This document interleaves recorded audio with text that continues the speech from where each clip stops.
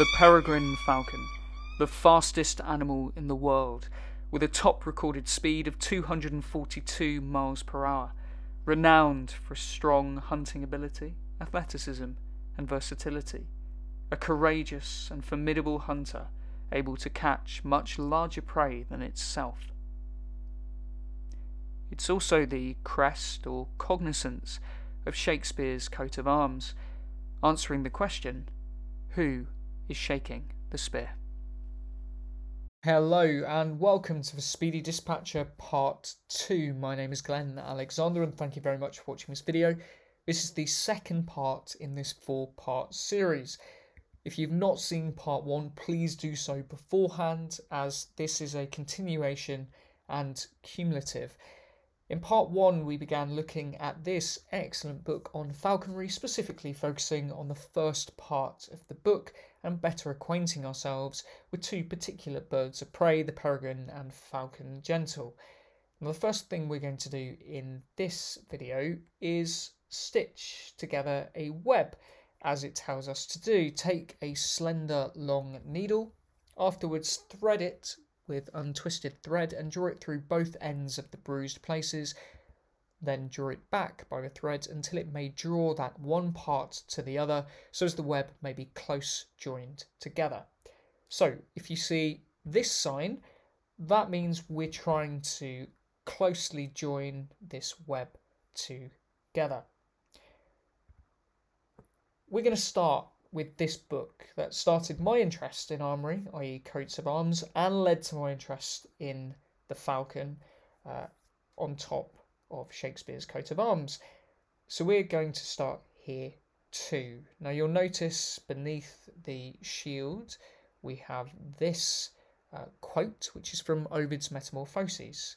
We know that because it's in the back. It tells us it's from Ovid's Metamorphoses, widely regarded as one of the most influential works for Shakespeare.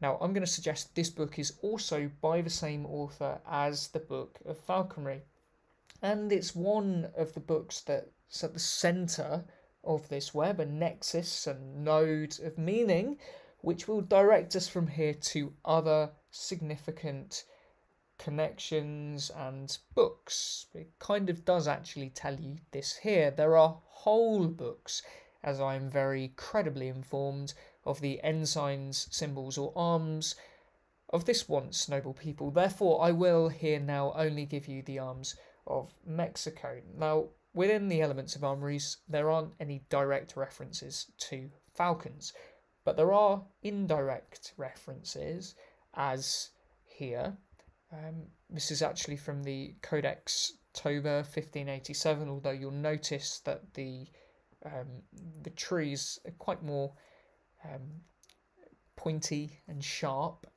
almost like a, a spear. Uh, here we have an eagle, a bird of prey, which is referenced in many times in the Book of Falconry, holding in one foot a bird. This was the sign which the oracle capital O, or in heraldry in coats of arms is gold, gave them. Um, and if we have a look at the tricking, that's using one or two letters to represent the colours in a coat of arms. You'll notice A for argent, which is silver, PR for proper, the natural colour of the thing. Well, it just so happens in Shakespeare's coat of arms, the draft grant issuing such, the colours that they reference are proper and argent 2. On page 40, a very significant page which we will return to some of these bits in a later episode. Uh, elude Turkish ensign stands, which one day yet, O God, you'll notice on the O you have a diacritic pointing upwards. Thou wilt raise by the martial arms of some zealous prince, who shall bear it in the canton of his royal coat armour for perpetual memory of the conquest. All other our like endeavours, as unto their vertical point, aspire, there being no felicity but as we may to seek the glory of God. And you'll notice with our uh, falcon, he is holding that spear, or she is holding that spear um, vertically pointing upwards. Sceptres or rods on top uh, whereof some symbolical images of others, as of a bird, a fish, etc. The terrible dove, Ira columbi, the terrible dove. Well, it's not a falcon, but it does have some similarity. You could poetically call a, a falcon a terrible dove. This is what I like to call um, poetic aberration. Uh, aberration in optics is when the light is spread out in space so it doesn't converge on a focal point. And here we're not focusing on the thing itself, but on like things that share some of the characteristics. As here it were pleasing but not much pertinent here out of one authentic author to declare the Assyrians bear a dragon out of another, the uh, Cyrus, the Persian monarch, bear a golden eagle, and the like innumerable. Now, in chapter 16, we have a reference here to geometry, and this is leading us to this book here, The Elements of Geometry. I know this because there are multiple references to the elements of geometry by Euclid, the geometrical elements. Um, Euclid Euclid's elements, Euclid's geometrical elements. It really is directing you to this book. And if we have a look at the frontispiece of this book and look in this corner here, well, you'll find something really quite remarkable. If you have a look at what people are either pointing to or looking at, well, we have a king, another king, the a, a, cherub there, a a uh, the king of the animal kingdom, an old man scratching his head, is looking at this, and uh, a winged man with a sickle looking at this as well. So we have six people all looking at what is a bird in the clouds. Now, how do we know what this bird is? Well, let's ask the person who has wings. And you'll find in the book of falconry um, when he discusses etymology. He's actually he, he gives you the definition of falcon. Uh, Festus, in his opinion, that the falcon is so named because of her pounces and crooked talons, which do bend like unto a scythe or sickle, which in Latin is called falx. So the falcon is named after the sickle, and one of the people front and centre on the frontispiece is holding a sickle and looking at this bird. So we can be pretty sure that bird is indeed a falcon. The Elements of Armories also references this author multiple times, Gerard Legh. Now, this leads us to this book here, The Accedens of Armory, a book on how to blaze, which is describe a coat of arms correctly and lawfully. Um, the two characters here are Gerard uh, a Herhort or Herald and Lee, and Knight, who have a dialogue all the way through his book whilst teaching about blazon, how to describe a coat of arms. If we have a look uh, in again, we we have some falcon references. So a blazon by the days in the week. I like week um, because it's we and eek. Eek means use sparingly to last longer devised by Falcon, Principal Herhort, Principal Herald in England in the time of the famous King Edward III.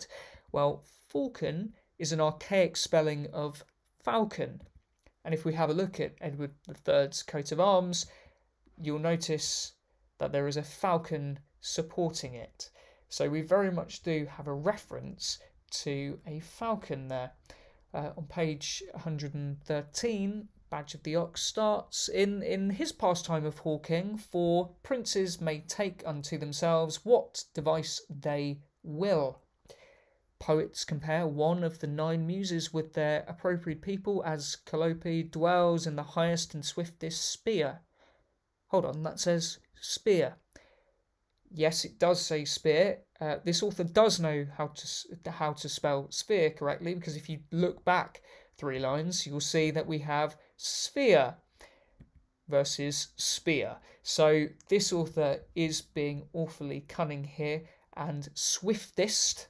Remember, the peregrine falcon is the swiftest animal in the world. princes may take unto themselves what devices they will, so it be born of no man before that time. Uh, this is very clever because there isn't for a badge uh, the falcon born of any man before, but there is of a woman. And that woman happens to be the arms of Anne Boleyn, where you'll find a falcon atop. Uh, Anne Boleyn, of course, the mother of Elizabeth I. Here we're again talking about our badges, um, and he tells a lovely story uh, here about the tailor and the shoemaker, uh, but will be as gentlemanlike as the gentleman himself. I read a pretty story which he tells you, I'd encourage you to read it because it's great. It's about a shoemaker uh, who wants to be dressed like a knight and gets his just deserts. Uh, the which, for that I do wish each man to be known as he is. I will declare his doing in that point to you as a pattern for gentlemen to reprove such as like apes counterfeit that as appertaineth not to them. And in the uh, the story he tells, he refers to cloth as should make himself a gown. He uses the word garments in that story, much like coats. Every man weareth at his day as he liketh. You'll notice in the the side there we have some additional notes with that uh, bizarre looking uh, manicule. I'm not sure whether that's a hand or something with feathers. Uh, this, I believe, no uh, shows understanding of crests borne by themselves, for I have sundry ancient seals of my ancestors in Edward III's time, who we've just met, and Richard II, uh, where this coat of arms and crest obey the same, and it's in brackets here, cognizance, cognize, um, is set upon the helmet both with wreath and mantle. This word cognizance, cognize, that's an interesting word because with Shakespeare's draft grants issuing his coat of arms, we have a cognizance of a falcon, a cognizance, a falcon, and a cognizance, a falcon. We also have another book referred to, uh, Minerva's, Minerva's Shield. Well, this is referring to this book here, Minerva Britannia, uh, it, you'll notice it in block capitals it was also Roman, as is Minerva. Uh, the Romans did name Britannia Britain. Um, it also says a coat of arms, and on the front of this book, on the frontispiece, we have a coat of arms. It says a shield for censors, and on the first page, it does tell you it is a secret arm. So we have a secret arm on the front of this book. The most important point is it's printed in shoe lane at the sign of the falcon. We also have some other Minerva references and Roman again, so we can be pretty sure that it is referring to Minerva Britannia. Uh, but even more so, because the images of ancestors very pretty, was that conceit, uh, which my friend Master Segar Garter, Principal King of Arms, well, it just so happens in the front of the book we have a dedicated poem by William Segar, Principal King of Arms, and in the Elements of Armories, we have our first dedicated letter, also by William Segar, Garter King of Arms. So we can be pretty sure that these books are very much connected. Um, within this letter, I would like you to pay attention to this because you'll meet this in a later episode. The finis coronat opus, uh, the end that crowns the work, or perhaps the crown that ends the work. So we also have this for Quicksilver. And the ghost does say in Hamlet that swift as Quicksilver it courses through. Um, we are discussing speed here. Why am I looking in Hamlet? Well, you remember from episode one uh, the glowworms from uh, the ghost speech, and we have glowworms in Hamlet. So you can see there's an overlap of some of the expressions we're using. That was actually the first um, time that I, I thought I'll check Hamlet because glowworms is a particularly unusual uh, word. So that was the beginning of the book, printed at the sign of the falcon. This is the middle of the book. We have, well, a picture of a falcon, servire uh, nescit, uh, eager to serve. The princely falcon hath long been manned and taught to stoop unto the tossed law, is now escaped from his master's hand, and will no more such servitude endure, but better likes the field, which just so happens Shakespeare's first ever work was printed by Richard Field. And and Forest Spray, and for himself in elder age to pray. Well, it just so happens that the Elements of Armories is printed by George Eld. The virtuous mind and truly noble sprite can seldom brook. Well, it just so happens there was a herald in 1602 called Ralph Brooke who submitted a list of unworthy or base people who he believed had incorrectly been issued arms to the Queen, and number four on the list was Shakespeare. In bondage base to serve, but most doth in his liberty delight, still rather choosing by himself to sterve than eat some caterpillar's envied bread, ed, or at another's courtesy be fed, ed. Uh, and you'll remember from um, the book of falconry when we categorized our falcons, and the falcon was number four also. At the end of this book, with the author's conclusion, it starts as then the sky was calm and fair, the winds did cease and clouds were fled. Aurora scattered Phoebus's hair, new risen from her rosy bed. That will make more sense in an episode or two. Uh, we have our first Falcon references uh, with Falcon for the king's delight and crownets for her petty kings. York's Lock that did the Falcon Shroud, that's our second Falcon reference, and Brave Falconbridge. And two lines before that, the Loyal Vere.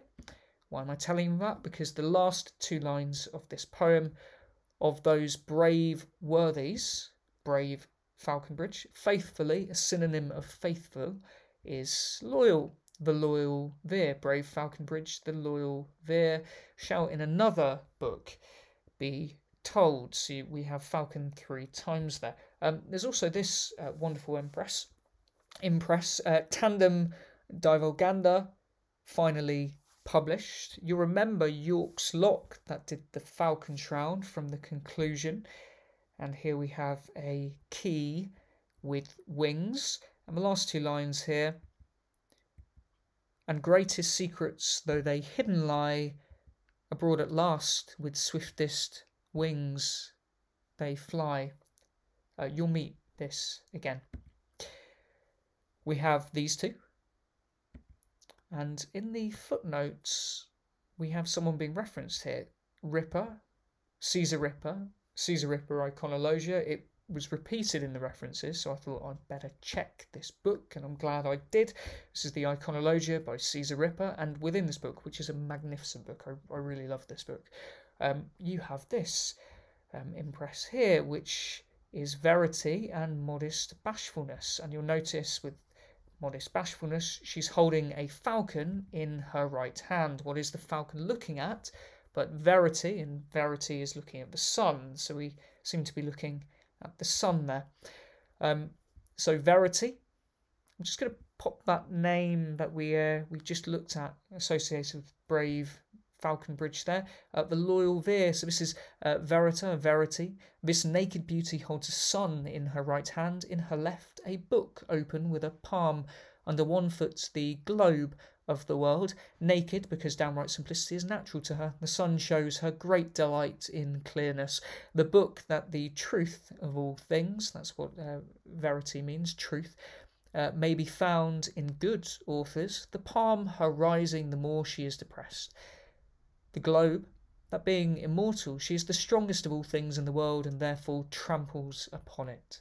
And I'm just going to put uh, this picture of the Shakespeare bust from the funerary monument um, as I read through it. Vergogna Honesta, modest bashfulness, a modest, sweet looking girl casting down her eyes, clad in red, cherry cheeks, There does seem to be some blushing on Mr. Shakespeare's face, an elephant's head. Uh, elephants do tend to be bold.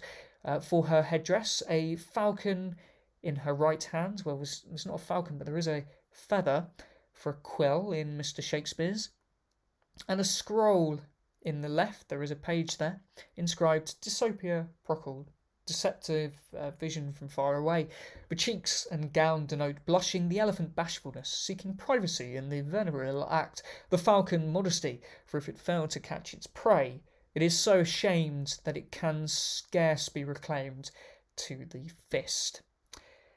Within the elements, we also have our third dedicated letter from Mr. Thomas Bedingfield. I return them in haste, fearing to foul, remember a foul is a bird, the paper or injure the ink. It's by uh, Thomas Bedingfield. Now, Thomas Bedingfield um, translated a work by Cardanus Comfort, the Italian uh, polymath uh, Geronimo Cardanus, uh, which is dedicated and published by the commandment of the Right Honourable Earl of Oxford. That's the Earl of Oxford, Edward de Vere, 17th Earl of Oxford. You'll notice on the front we have a coat of arms with a bird, well, two birds on there, bird with a halo and a bird um, across the chevron. And in the front of the book we have a letter to the Earl of Oxford, and a letter from the Earl of Oxford. But this letter I quite like because it nicely says, arms being your Lord's chief profession and mine also. So apparently, uh, armoury, coats of arms are Edward de Vere's chief profession, apparently, according to Mr. Bedingfield. Although there is, if you notice Mr. Bedingfield there, there isn't an I in field anymore. Uh, there's also a poem by the Earl of Oxford to the reader. Here's it a little bit more clearly, which is very telling and hopefully by the end of these videos will make a lot of sense. Um, the labouring man that tills the fertile soil and reaps the harvest fruit hath not indeed the gain but pain if for all his toil he gets the straw, the Lord will have the seed. The swiftest hare unto the mastiff slow oft times doth fall to him as for a prey. The greyhounds thereby doth miss his game, we know, for which he made such speedy haste away. So he that takes the pain to pen the book reaps not the gifts of goodly golden muse, but those gain that who on the work shall look, and from the sour the sweet by skill doth choose. For he that beats the bush the bird not gets, but who sits still and holdeth fast the nets. Well, it just so happens in our book of falconry, we uh, we have um, something described for us. Uh, these kind of hawks are used of such as to go with nets and spaniels. The order of which game is this. Uh, this is a sport called daring. The dogs, they range the field to spring the fowl, which means get the fowl in the air, and the hobbies, they accustomed to flee aloft over them, soaring in the air, whom they, the silly birds, espying at their advantage, fearing this conspiracy, as it were, betwixt the dogs and the hawks, for their undoing and confusion, dare in no wise commit themselves to their wings, but do lie as close and flat on the ground as they possibly may do, and so are taken in the nets, which with us in England is called daring, a sport of all other most proper to the hobby. Um, I'm also just going to alert you to this. This is put in brackets. There was the addition, but you'll notice the e in in this uh, copy of the book seems to be uh, floating there, which gives me an ideal opportunity um, to remind you uh, about the figure of addition. This is the first figure of rhetoric taught in Book Three, uh, all of ornaments, all about ornaments in the art of English poesy. The figure of addition is adding one letter to um, change or add to the meaning of a word, uh, which is the first thing he teaches in Book Three. You'll notice book has an E on the end, so there's perhaps more meaning to this book by adding a single letter. This also happens to be what this uh, gentleman, who you'll meet in a second, is pointing to. He is pointing to this E, and temples also means in uh, Sumerian E. So he's pointing to an E. Now, we're about to go daring and may even catch someone with a spear in our nets, as alluded to in the Minerva Britannia. Now, this is actually uh, Pallas Athena or Minerva, the patron goddess of playwriting. But before we do that, we need to learn a little bit about spaniels, how necessary a thing a spaniel is to falconry, and for those that use that pastime, keeping hawks for their pleasure and recreation, I deem no man doubteth as well to spring and retrieve a fowl being flown to the mark. The dogs, they range the field to spring the fowl. Remember, that means to get the fowl in the air so the hawk can seize it. A good spaniel maketh a good hawk, and the best spaniel for the job, according to our author, is the greyhound and well made for the purpose, and a greyhound will be most readily made. This is the Shakespeare monument in Westminster Abbey. He is the person who is pointing to the E in temples, and directly opposite this monument we have this one. If we have a closer look at it, you'll notice on the front we have Edward and Robert in capital letters, and at the top of it we have these greyhounds. Our greyhounds will be most readily made and in the commendation of Hawking in the front of our book on falconry. Of spaniels first I mean to speak, for they begin the glee, who being once uncoupled, when they feel their collars free, in roisting wise about they range, with cheerful chaps to ground, to see wherein the champion may some lurking fowl be found, a sport to view them stir their sterns in hunting to and fro, and to behold how nature doth her power in spaniels show. Uh, you also notice on the scroll there, vincit cum legibus arma, he wins with the law of arms. Now, that monument we just looked at is there opposite the Shakespeare monument in Poets' Corner of Westminster Abbey. Now, at the ends of Poets' Corner, we have these two monuments which are also quite significant. The first one, which is along the same wall as our monument with greyhounds, is this one. This is the monument to William Camden.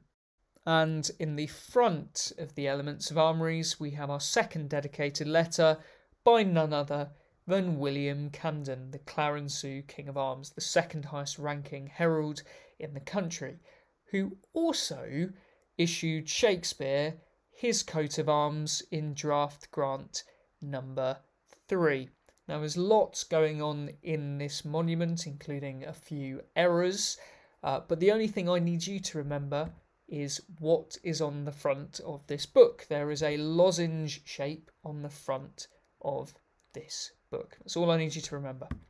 So, if we have a look at the other monument, this is a monument by the Earl of Oxford to O'Rare Ben Johnson, a dedicated monument. And above these masks is O'Rare Ben Johnson. And if we notice, there are two dots there. There's a colon um, in between uh, the name, uh, which you also have with Edmund Bolton in his Elements of Armories.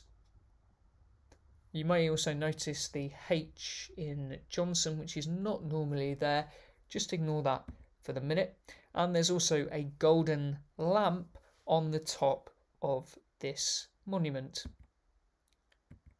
So if we put our learning together, we have O-Rare Ben Jonson plus our lozenge shape. If you put them together, what do you get?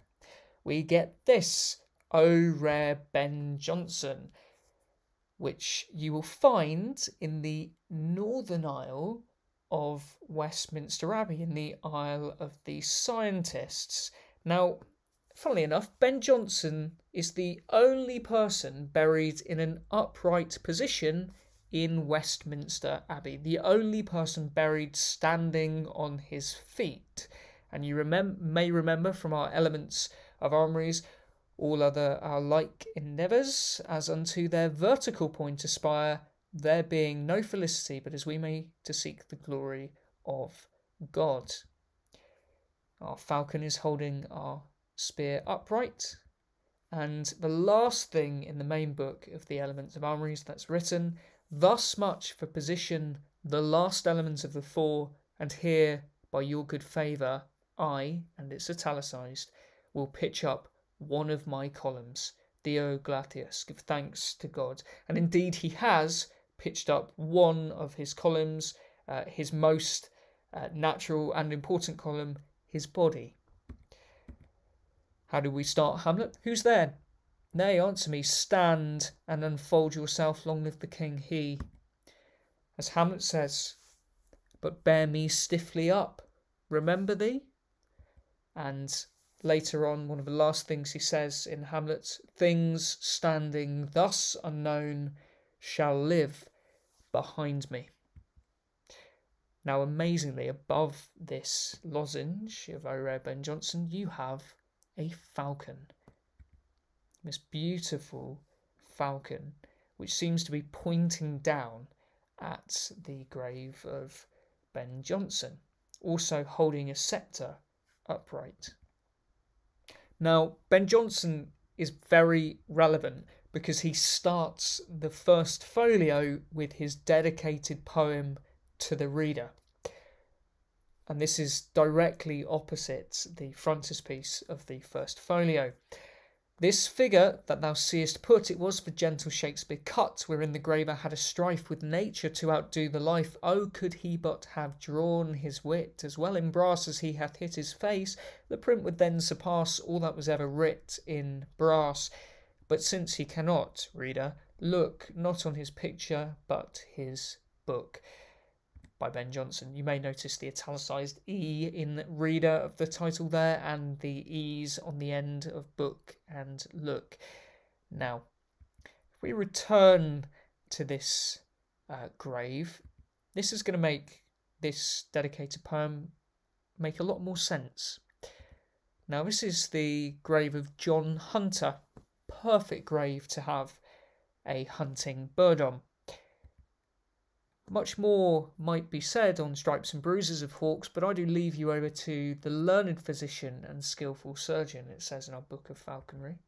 And John Hunter apparently was the founder of scientific surgery. Oh, there's our O. Could he have but drawn his wit as well in brass? Well, according to Westminster Abbey, this falcon is made of brass, this grave is made of brass. He hath hit his face, there's an IHS there, his IHS. Uh, the print would then surpass all that was ever writ in brass. It was for gentle. Well, you've seen the Hamlet joke, but the falcon gentle taketh stand more willingly upon the ground. Shakespeare cut. We are dealing with a surgeon, wherein the graver had a strife well, this is a grave, with nature to outdo the life. So hopefully that makes a little bit more sense. Now, a few pages later, Ben Jonson also has this poem to the memory of my beloved, the author Mr. William Shakespeare, and what he has left us. Now, you remember the monument opposite Shakespeare also was to the memory, and Ben Jonson signs his name with that colon. Now, this is a wonderful poem which we will explore, and we're going to start to explore it with Sweet Swan of Avon. What a sight it were to see thee in our waters yet appear, and make these flights upon the banks of Thames that so did take Eliza and our James. And we also have some talking about flight, which since by flight from hence. Now, it just so happens that the 1575 publication of the Book of Falconry had this wonderful picture of Queen Elizabeth, um, seems like by the banks of the Thames, out hawking with her falcon there. Well, it also just so happens that in the 1611 publication of this book, we have James out by the banks of the Thames, also hawking, because falconry was a, was a, the sport of kings and queens. So, and make those flights upon the banks of the Thames. There's our Thames, there's our Eliza, there's our James. So, why are we called the sweet swan of Avon? Of feeding hawk, my turn for a colon. Sweet Swan of Avon, although Ben Jonson did miss out Sweet and Tasty Swan of Avon. Sweet, well, as it tells us, sugar candy of each alike quantity make thereof a powder. Sprinkle some of that powder on the part whereof you reward her, and it shall make her love that kind of prey the better ever afterwards. Swan. The flesh of the swan and many other kinds of waterfowls, too long here to be rehearsed, are to be used according to the time and circumstance of occasion. And Avon, well, Avon, river fowl, sweet swan of Avon. And you'll meet that shield with a swan on in a minute. So, there we go. Mr. Shakespeare, our sweet swan of Avon, very tasty with his bold, fleshy head and a feather in his hand, and our falcon above and as it says, to the end his hawk may continue the more boldly to flee great, which means chase, great flights. And here, but those, um, yet some there be, but those are very rare. And you remember he told us before that the peregrine or haggart falcon are more rare and passing in perfection, which fleeing all kinds of fowls, such as sweet swans, become still harder and harder and better and better. Understanding Shakespeare is our river fowl better helps us understand emblems like levitas, which means levity, a youth arrayed in sundry colours, light and painted plumes, i.e., feathers that overspread his crest. His right hand holds the bellows to his ears, his left the quick and speedy spur doth bear. Such is caprico, which in Italian means a prank.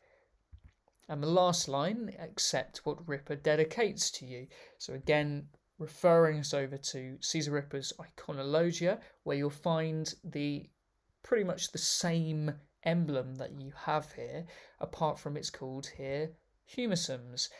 Number 44, Caprico humarsomeness. So our prank is our humarsomeness, a young spark in a garment of various colours, with a little cap on his head like his clothes stuck with feathers of several colours, bellows in one hand and a spur in the other. The capricious fellow would be singular. His youth shows his inconstancy, his habit, his fickleness. His cap shows that such variety of unaccountable actions are principally in the fancy. The spur and bellows his proponents to praise other men's virtue, or to vent pricking scoffs against their vice. Here's some humorsomeness. Every Man in His Humour, a comedy by Ben Jonson, first acted in the year 1598 with Shakespeare in the cast, followed a year later by Every Man Out of His Humour with Shakespeare out of the cast. What is this humour? Well, let the characters tell you. Humour, Mac, I think it be so. Indeed, what is that humour?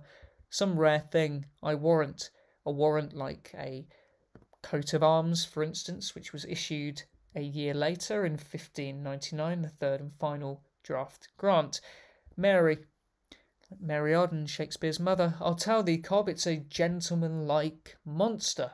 Well, we've seen gentleman-like a few times already, including in the contents of the book of falconry, most excellent and gentleman-like quality, bred in the special Notice the double L there, I'll mention that shortly. Gallantry of our time by affectation and fed by folly.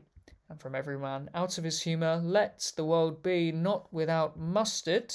Your crest is very rare, sir. The not without mustard alluding to the amount of gold in Shakespeare's coat of arms, a very rare crest indeed. Now, if we have a look at page four, the Act One, Scene One of Every Man in His Humour, uh, you have the character Edward Knowell. You actually have two Edward Knowells, senior and junior, in this play, having a conversation. Um, I'm just going to put that name up there as well. Uh, Edward de Vere, 17th Earl of Oxford. Call up your young master, bid him rise, sir. Knowell, but hear you, sirrah, if he be at his book, disturb him not. Myself was once a student, and indeed fed with the same humour he is now, dreaming on naught but idle poetry, that fruitless and unprofitable art, good unto none but least to the professors, which then I thought the mistress of all knowledge, but since time and the truth have waked my judgment, and reason taught me better to distinguish the vain from the useful learnings. Cousin Stephen. Stephen's an interesting name because it means wreath and crown. Uh, what news with you that you are here so early? Um, nothing but uh, in come to see how you do, uncle. That's kindly done. You are welcome, cuz. I I know that, sir. I would not have come else. How do my cousin Edward, uncle? Oh well, cuz go in and see. I doubt he be scarce stirring yet. Uncle, afore I go in, can you tell me, uh, the uh, have a, a book of the sciences of hawking and hunting? I would fain borrow it. Well, I wonder whether Edward Knowell has this book of falconry in his library. Why, I hope you will not a hawking now, will you? No, uh, but I'll practice against next year, uncle. I have brought me a hawk and a hood and bells and all. I lack nothing but a book to keep it by. Oh, most ridiculous. And the last line, nor stand so much on your gentility. So, Sonnet 91. Hopefully, this makes a little bit more sense now in light of our previous discussions. Some glory in their birth, some in their skill, some in their wealth, some in their body's force, some in their garments, though new fangled ill, some in their hawks and hounds, some in their horse, and every humour hath his adjunct pleasure, wherein it finds a joy above the rest. But these particulars are not my measure. All principal comedians were Will Shakespeare. These I better in one general best. Thy love is bitter than high birth to me, richer than wealth, prouder than garments cost, of more delight than hawks or horses be, in having thee of all men's pride I boast, wretched in this alone, and that thou mayst take all daring, the sport of all.